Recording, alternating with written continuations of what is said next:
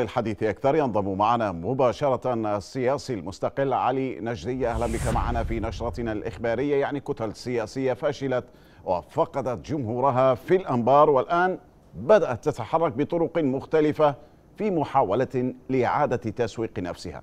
كيف تصفون هكذا تحركات؟ تفضل. بداية تحية لكم تحية لقناتكم الموقرة وتحية للسادة المشاهدين.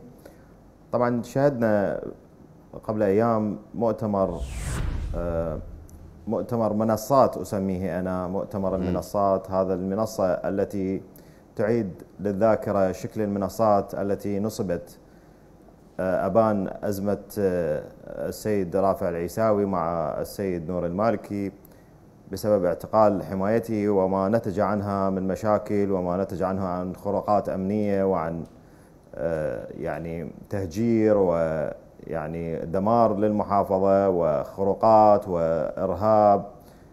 يعني وجد الإرهاب آه، خاصرة ليتسلل من خلالها ويعيث في الأرض فسادا وبالتالي آه، يعني فقدنا الكثير من الدماء من دماء أبنائنا من دماء أبناء القوات الأمنية الكثير من المهجرين الكثير من النازحين الكثير من المغيبين بيوت مهدمة مناطق بالكامل سويت بالأرض فبالتالي هكذا منصات وهكذا مؤتمرات متشنجة وتبحث عن خلاف سياسي على حساب مصالح الجمهور الأنباري. بصراحة هذا مرفوض جملة وتفصيلا. طيب أستاذ علي. الساحة السياسية مفتوحة للجميع.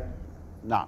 يعني ما الفائدة من عودة هذه نعم. الأحزاب السياسية إذا كانت المحافظة مستقرة خصوصا وأن الشارع الأنباري يتوجس منها؟ نعم آه، طبعا الساحة السياسية مفتوحة للجميع. من يريد أن يعمل سياسة فليعمل لكن من يريد أن يقيم هكذا مؤتمرات آه، يعني تدعو بخطابات متشنجة إلى مهاجمة الآخر وإلى آه، تهديم المشروع الآخر. بالتالي الآن الحزب الفائز في الأنبار فائز بأغلبية مطلقة ويمثل جمهور الأنبار رسميا. في البرلمان وبالتالي مطالب الشعب الأنباري تتمثل آه، في في نواب المحافظة. وليس بالناس التي آه، أتت بعد حل الأزمات وأتت بعد الإعمار وأتت بعد أن قضى كل شيء وبعد أن عاد الأمان والإعمار إلى محافظة الأنبار. وبالتالي جاءوا يبحثون عن فتات الفائدة الشخصية أو أو النفع أو النفع الشخصي آه، لمصالحهم. آه، جاءوا من باب الخلافات الشخصية مع السيد رئيس البرلمان وبالتالي أنا قلت من كان يريد أن يعمل سياسة فليعمل ومن كان يريد أن يثير النعرات ومن كان يريد أن يثير المشاكل داخل المحافظة فالباب مغلقة بوجهه. الشعب الأنباري عانى ما عانى. غير مستعد أن يضحي من جديد غير مستعد أن يهجر من جديد غير مستعد أن يدخل في أزمات من جديد لحد الآن آه، يعني جراح الأنبارين لم تلتئم. فبالتالي من الأولى أن آه، يتم العمل على حل مشاكلهم باعتبار أن بعض القائمين على المؤتمر لديهم علاقات جيدة مع بعض الفصائل المسلحة التي ترفض عودة النازحين إلى مناطقهم والتي ترفض آه، تسليم المناطق إلى أهلهم كجرف الصخر والعوجة. كان من الأولى أن تتوسط هذه القوى السياسية لدى هذه الفصائل لعودة النازحين لا الاستقواء بها على الآخرين واستغلالها استغلالات سياسية. يجب أن يكون آه، يجب أن تكون جميع القوات الأمنية بمنأى عن النزاعات السياسية والصراعات السياسية.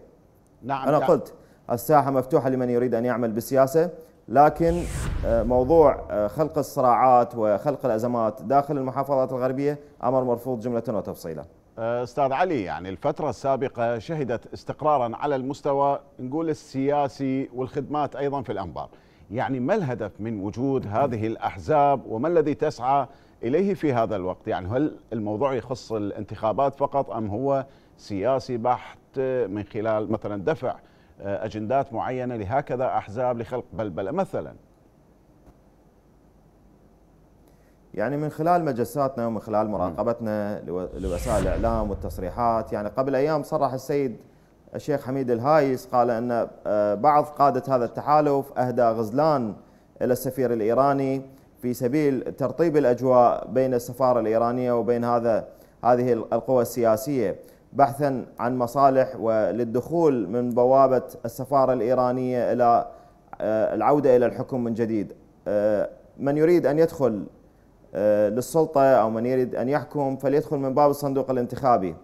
أما باب السفارات أو باب القوى الخارجية وباب القوى المسلحة يعني خلينا نقول حتى باب يعني الغزلان اللي ذكرته حضرتك أستاذ علي. يعني لهالدرجه وصلت يعني غزلان وللسفارات. نعم في السابق كانت بعض الشخصيات في هذا التحالف يعني ترفع عبارات طائفية وترفع عبارات متشنجة ضد الآخر وقادمون يا بغداد وغيرها ويعني أخذوا الجماهير هذه المحافظة إلى المجهول.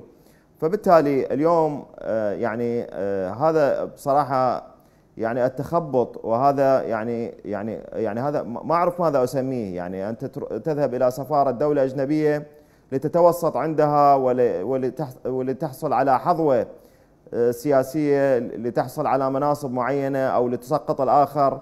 فبالتالي هدم مشاريع الآخرين لا يبني الذات.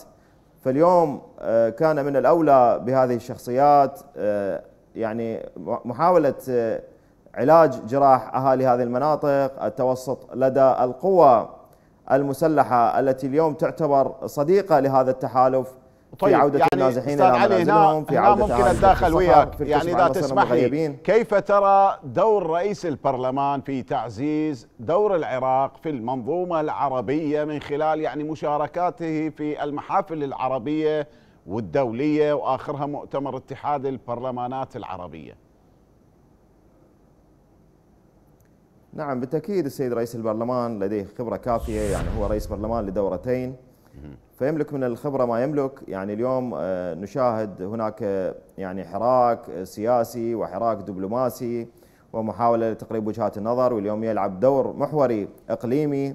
يعني آه، موضوع الأزمة السورية تدخل فيه موضوع البرلمانات غيرها غيرها من الأمور.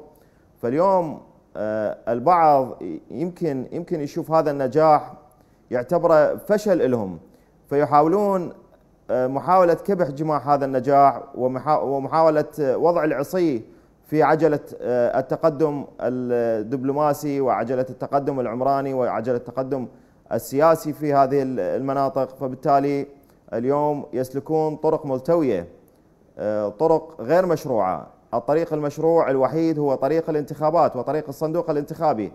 أما طريق السفارات فهذا طريق ملغوم وطريق قد ياخذ جماهير هذه المحافظات إلى المجهول. اليوم اللعب على وتر الفصائل المسلحة واللعب على وتر الغزلان واللعب على وتر الهدايا للسفارات والتقرب من السفارات الأجنبية أمر مرفوض ومعيب. لا يليق بتاريخ نعم. هذه الشخصيات. يعني خلي ليحافظوا على القليل من ماء الوجه. نعم. يعني اليوم الجمهور هذا عانى ما عانى بسبب مشاكلهم الشخصية السابقة. فبالتالي لا أتصور أنه اليوم الجمهور الأنباري أو جمهور المحافظات الغربية جاهز ليدخل في أزمة أخرى أو ليدخل في آه، مشاكل أخرى آه، بسبب خلافات شخصية أو بسبب مطامع على مناصب. فهذا أمر بصراحة معين نعم. جدا. نعم السياسي المستقل علي نجدية كنت معنا وعلى الهواء مباشرة. شكرا جزيلا لانضمامك إلينا.